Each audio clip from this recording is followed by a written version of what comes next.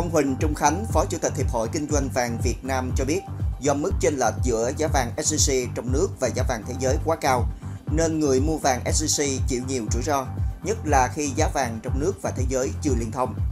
Vàng miếng SJC do nhà nước độc quyền sản xuất, chính phủ giao ngân hàng nhà nước tổ chức quản lý hoạt động sản xuất vàng miếng. Chính vì vậy, khi mức chênh lệch quá lớn sẽ dẫn đến nguy cơ buôn lậu vàng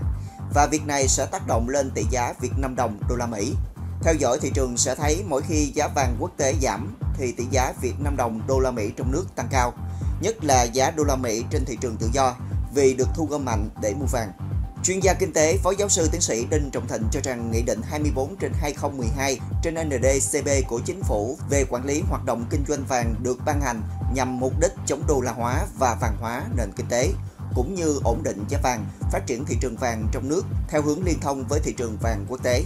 Hiện hai mục tiêu đầu đã đạt được, nhưng trên thị trường giá vàng SJC đang quá cao so với giá vàng thế giới. Do đó, theo ông Thịnh, đã đến lúc các cơ quan chức năng cần xem xét kiến nghị sửa đổi Nghị định 24 trên 2012 theo hướng xóa bỏ độc quyền sản xuất vàng miếng SJC vì chính tình trạng độc quyền nên giá vàng miếng SJC trong nước quá cao như hiện nay, trong khi giá vàng 4 số chính khác gần như tiệm cận với giá vàng thế giới.